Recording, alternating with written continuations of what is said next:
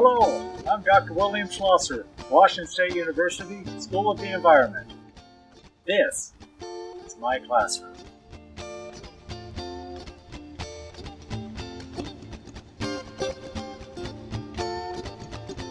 Ecosystem function describes how an ecosystem operates as a structure involving the ecological processes under the influence of the constraints of the physical environment. Biological diversity or biodiversity builds on this stable and functioning platform with the number of species in each habitat. Much of this diversity is found in the world's tropical areas, particularly in the forested regions. A habitat in equilibrium has a balance between the number of species present and its resources. Diversity is affected by resources, productivity, and climate. The more pristine and extensive a diverse habitat, the better chance it has to survive a change or threat, either natural or human, because that change can be balanced by the adjustment elsewhere in the community. Damaged or limited habitats may be destroyed by breaking the food chain, with removal of a single species. Thus, biological diversity helps prevent extinction of species and help preserve the balance of nature. Biodiversity assessment must be made at spatial and temporal scales. We strive to ensure that habitat is not converted or degraded. In cases of conversion or degradation, the manager needs to ensure that appropriate mitigation measures are understood and implemented. This continues the discussion and recognition of how all biotic actors in this production have value to the design. We see the results of synergy even when we think it comes from a single performance. Whenever we talk about biodiversity through a humanitarian lens, we are really expressing our personal views of social well being. Social well being concepts are found when basic human needs are met and people coexist peacefully. This end state is characterized by equal access and delivery of basic services like water, food, shelter, and health services. Social well being is a sense of involvement with other people and within our communities. Many researchers believe that well being is not just about being happy or content, but also about being actively engaged with life, other people, and the environment we live in and interact with. There is so much we do not know about the consequences of the loss of biodiversity. Some will argue that species loss has caused well, no major problems thus far. But the longer we heedlessly destroy habitat and threaten the viability of life forms, the greater our risk of serious ecological collapse. We are eating away at life's insurance policy and meddling with the natural balance of the ecosphere. Early in the study of natural resource ecology, I told everyone that wildlife has needs provided by the ecosystems where they live. This is an expression of balance to each species. However, I then point out that this relationship is bidirectional, in that the environment has needs delivered by the species it hosts. Equilibrium can be sustained only when the perpetual flow of energy is sustained within the system. Matter and energy are recycled within the environmental systems. Biologist and naturalist Edward Wilson wrote, quote, The creation, an appeal to save life on Earth, where he pinned, quote, The decline of Earth's biodiversity is an unintended consequence of multiple factors that have been enhanced by human activity. They can be summarized by the acronym HIPPO, with the order of the letters corresponding to their rank in destructiveness. He wrote that H is for habitat loss, including that caused by human induced climate change. I is for invasive species, harmful aliens including predators, diseases, and competitors that displace native species. P is for pollution. The other P is for population, human overpopulation to be exact, a root cause of the other four factors. And O is for overharvesting, which is overuse from hunting, fishing, and gathering. How to reduce loss. How about we start with awareness? Did you even know this tortoise is at risk to habitat loss? Now that you know, what will you do? That is at least a start, but next you can begin investigations to what has really happened in the time before your awakening. What is happening now? are you part of discussions to decide what happens next? Valuing biodiversity distracts from the purpose of this effort. When we place a value on something, we need to start by asking what type of value is used. Is it monetary value, social value, or maybe the value as articulated by somebody or something else? We do not have capacity to put values uniformly on non monetary assets which are not traded in competitive markets with many buyers and many sellers. It is not a trading floor filled with willing buyers and willing sellers. We consider balance in ecosystems with biotic and abiotic components, where matter and energy are exchanged and recirculated. The only feasible actions to be taken by people is to keep all options open and available to the synergy of live processes. When we do things right, we make neither decisions to expatriate any species artificially nor to preserve precariously any others. Allow nature to strike the balance. This is the most valuable competitive market. This series of observations is not just a happenstance occurrence. We are part of the natural balance, born here and living our life cycles on site. We can do things to mitigate hazard profiles for other organisms created through our uses. Corridors of connectivity link communities where we cut them apart. We are thinking metapopulations, with corridors between habitable environments. Terrestrial mammal populations are linked to lessen our interstate highway connections. Other times, it is our management of landscapes through the recognition of how terrestrial animals and birds connect their cycles of their annual life needs. It recognizes how winter cover needs transition to spring calving grounds, then to summer feeding sites, each seasonal habitat needing a transitionary patch to traverse. These are metapopulations with corridors between habitable environments. All of these are necessary biodiversity patches. Oftentimes, managers think in static terms, trying to create and maintain a status quo. Living life functions are never static. That is the realm of abiotic elements. And even then, the basalt rock fortress will show signs of decomposition. Uh, think of lichens and primary succession. Give it enough time and you will see change happening. The intermediate disturbance hypothesis urges human land managers to implement a management regime where change is implemented such that the continuity of life cycles is perpetual, sustainable, and staggered in time. We strive to attain changes within the realm of the natural range of variability. Again, think in terms of the time applicable to nature, not the time of human reactions. I keep dragging you back to metapopulations, we attempt to manage islands of land within the continental and global foundations of life. Schools of thought are applied to these concepts. Consider these ideas from a species approach and from the ecosystem side of the ledger. Both are viable, and the astute manager will do both simultaneously. From the species approach, we concentrate on prevention of species extinction.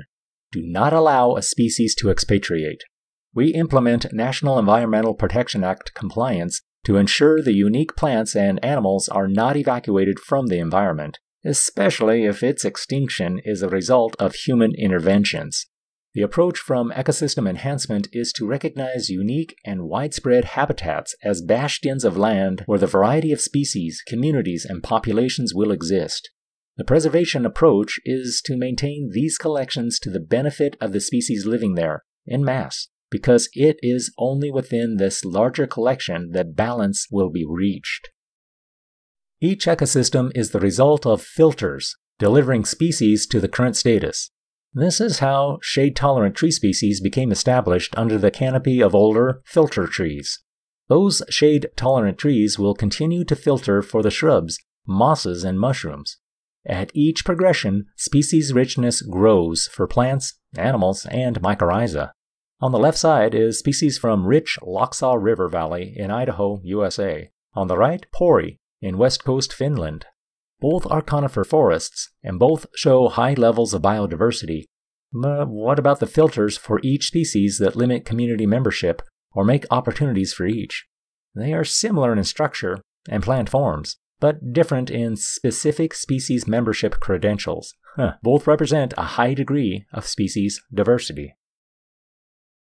I have kept our attention on focused ecosystems, existing within specific environments where species pools are controlled by the specifics of the local environment. Combinations of these landscapes across mesoclimates and regions lead to speciation and dispersal.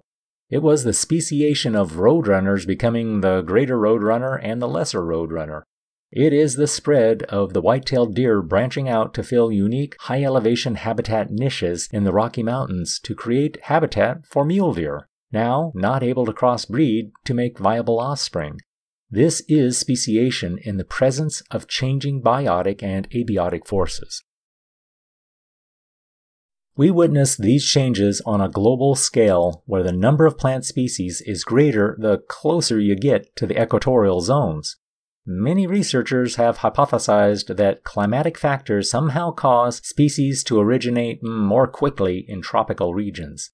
Although there is ample debate on this topic, considering why more species are found at the equator, the answer will generally pivot on those areas having more growing time available.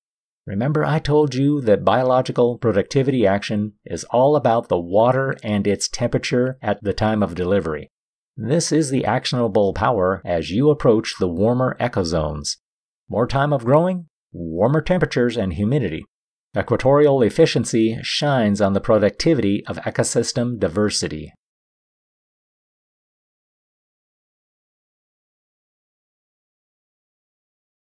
We talk about the realm of species protection and the need for ecosystem maintenance. But recall I told you to strive to keep all options open. Do not eliminate the choices you will make. Sometimes our predecessors did eliminate the inconsequential species that were a nuisance to our way of life. Is that okay? Doesn't does it even matter now? I take you to the Olympic Mountains, western Washington to Mount Anderson, and down the Quinault River. This river system pours into Lake Quinault, then farther downstream to the Pacific Ocean as it passes through the territorial homelands of the Quinault Indian Nation.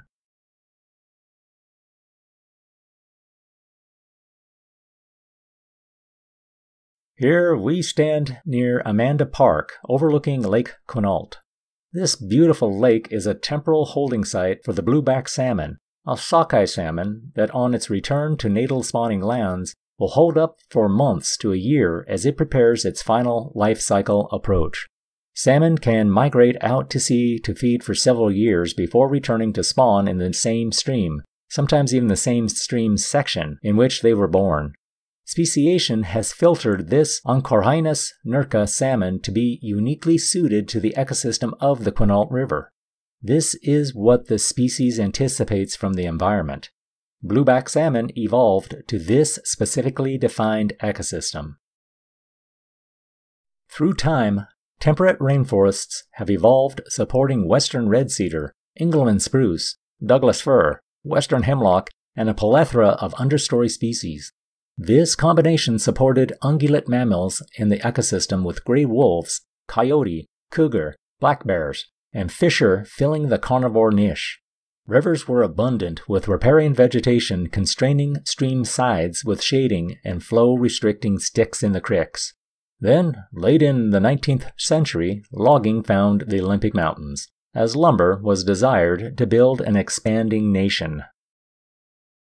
In the early 1890s, about a third of Washington's population worked in logging camps, sawmills, shingle mills, and in factories making lumber, wooden doors, and window sashes. Nearly 1.2 billion board feet of lumber and almost 1.9 billion shingles were shipped from the state in 1892. Huge trees still filled the coastal forests, and no one thought the supply would ever run out. At the time, there were no Forest Practices Act compliance regulations to follow, as the logs were dragged down rivers, and natural reforestation sprouted all recruits. Forest succession initiated across this region, and the status was only partially disrupted by this time. Gray wolves are native to Washington and part of our state's wildlife heritage. They were eliminated across the continental USA by the 1930s. By 2020, they are now returning to the state on their own.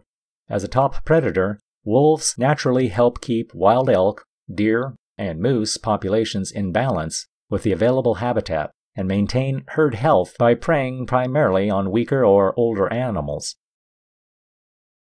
Recovering this endangered species will help return an important missing element of Washington's complex of carnivores and their prey, which provides multiple benefits to a myriad of other species in an ecosystem. But again, this is only one part of the ecosystem imbalance experiences within the Olympic Mountains.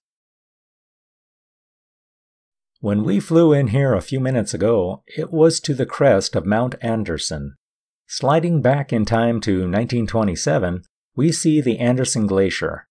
As years progressed, photographic imagery shows how the glacier has receded each year.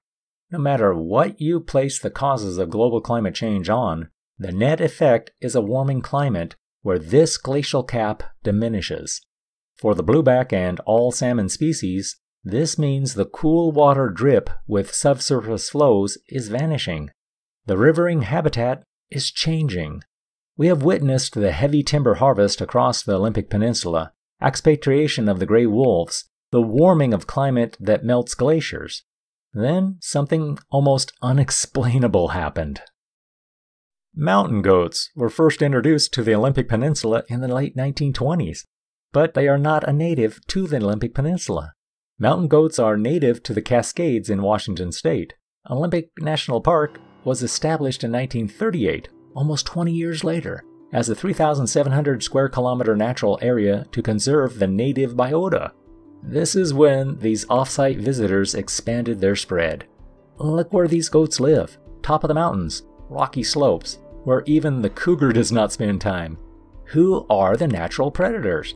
Remember, this is a national park now, where not even hunters are allowed, and the Native American hunters who could hunt them do not have interest in a tangy goat steak. Mountain goats in the Olympics have been associated with damage to alpine vegetation and soil erosion.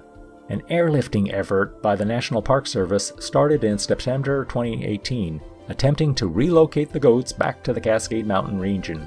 The National Park Service hopes to relocate several hundred goats before starting a lethal removal option. Here we are back to the Quinault Indian Reservation, with Lake Quinault at the northeast apex. This region has witnessed extreme modifications from extensive timber harvests in riparian and adjacent zones, gray wolf expatriation, loss of northern spotted owl habitat, and now secondary impacts to salmon caused by these ecosystem disruptions. Roosevelt elk populations are thriving, with no natural predator, they live in the national park, where hunting is not allowed. Native American Indian tribes can hunt these elk, but harvests are concentrated on adjacent Indian reservation lands. There is an ample population of fat and happy elk in the Olympics. Since time immemorial, not even canoe and raft riders could traverse the Quinault River. Too much debris and brush. It was not a navigable river. Mm, but now, what has happened to the thick hardwood trees, those giant spruce, western red cedar, and Douglas fir? Seems elk have settled their focus on these riparian zone soft leaves to feast. River rocks were never a bedding area for elk herds in the past times. River noises block predator sounds approaching for a kill. With those trees gone, the stream channel anchors missing, glaciers melting, the river temperature has risen. It now gets direct sunlight, and the river water velocity is increased. If you are a salmon looking for a place to spawn, this is looking bad. Here we start the discussion to prognosticate for the continuing trophic cascade. Will river dependent species fall? What about the beavers, eagles, nematodes, insects, deer, or spotted owls? How are these all connected through the food web and their energy transfers? The shape of the Upper Quinault River has changed. Spring freshens have seen the channel reroute, eroding at bends to establish new channels. Some salmon eggs are laid, then left dry. The western red alder, Birch and cottonwood are mostly gone. Since the time of the gray wolf expatriation, the population of blueback salmon returns has decreased. The population by 2011 was at critically low levels. In 2011, the Quinault Indian Nation hired me and my firm to work with the tribe, five U.S. federal agencies, six Washington state departments, the counties of Jefferson and Grays Harbor, and the Nature Conservancy to create a National Environmental Policy Act NEPA compliance document in the form of an environmental assessment. The EA addressed the restoration of salmon habitat of the Upper Quinault River located within the geologic floodplain of the Quinault River.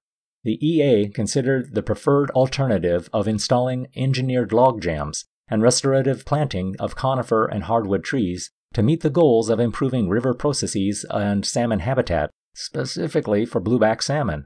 Normally a two year procedure, we were asked to acquire federal agency acceptance within four months.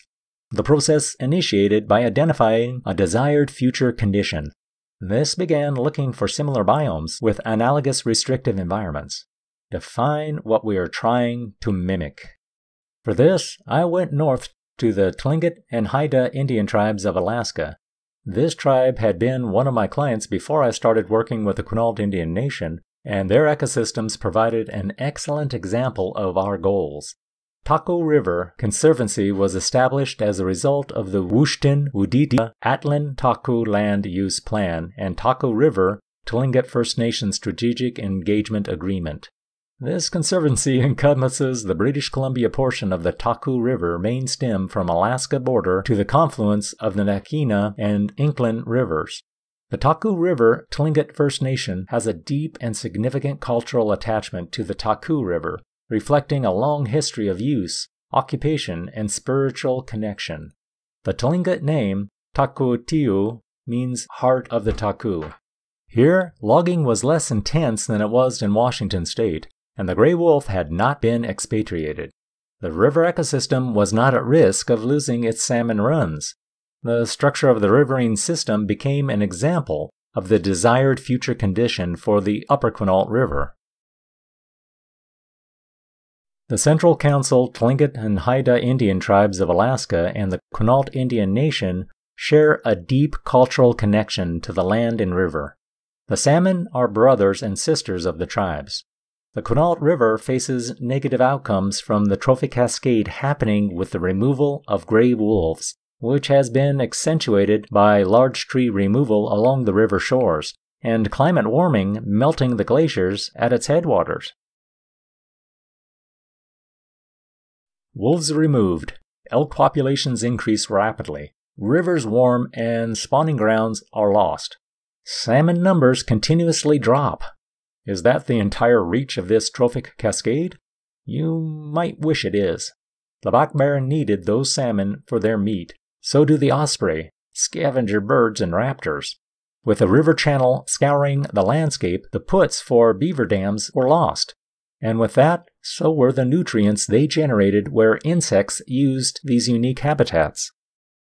We keep that nutrient rich river water trek to the ocean alive to watch what happened in the littoral zone. The sea star habitat found is lacking the nutrient rich formula they once had. Keep looking for mollusks, limpets, and razor clams. They get their food served at the mouth of their rivers. Clam diggers talk about the smaller razor clam sizes, how there are fewer now.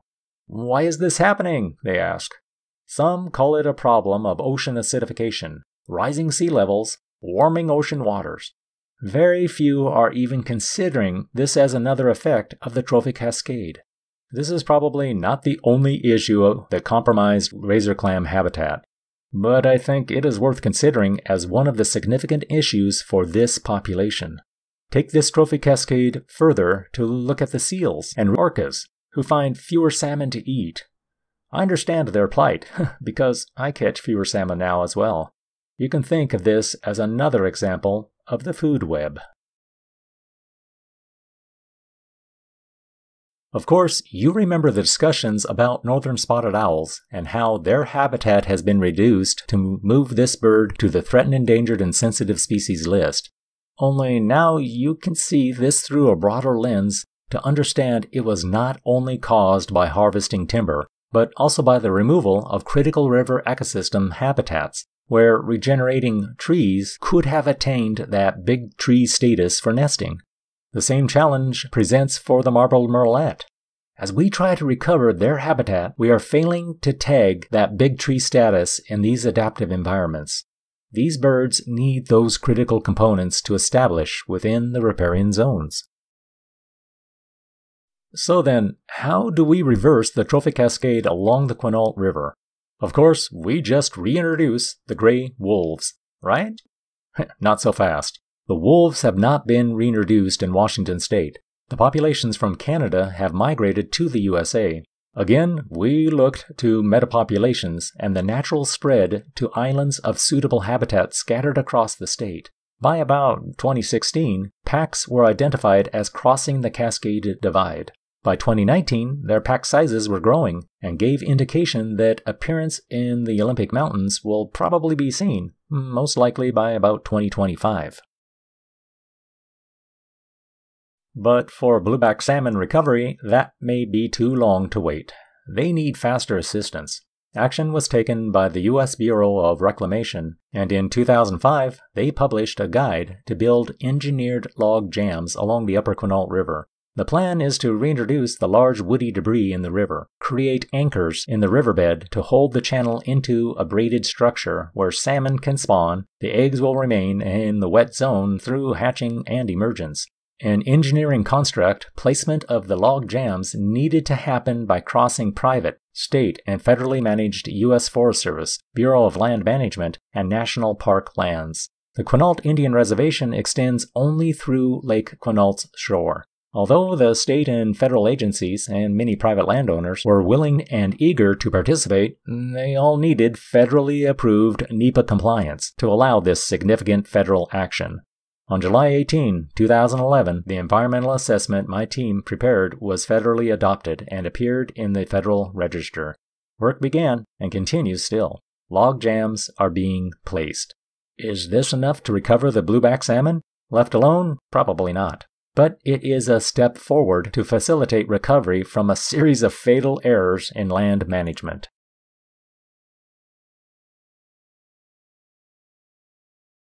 I enjoy playing chess.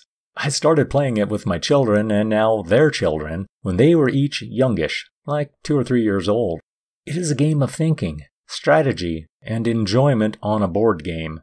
In these games of chess, I tell my grandchildren they should never dismiss any of their players as inconsequential. Not a bishop, a rook, or a pawn. You may never know when you needed that player to save the entire game.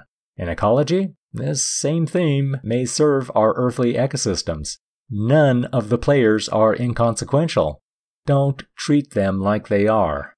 In the words of Joe de la Cruz, past president, Quinault Indian Nation, quote, What we do to the land, we do to ourselves. End quote.